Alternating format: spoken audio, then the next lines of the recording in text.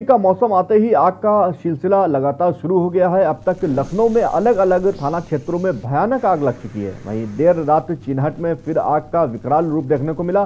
चिन्हट के BBD university के पास लगी भीषण आग, वहीं फुटपाथ पर बने आधा दर्जन रेस्टोरेंट आग की चपेट में आ गए और खाक हो गए। दमकल की सात गाड़ियों ने कड़ी मशक्कत के बाद आग पर काबू पाया। फ़िलहाल आग लगने का कारण साफ़ नहीं हो पाया है।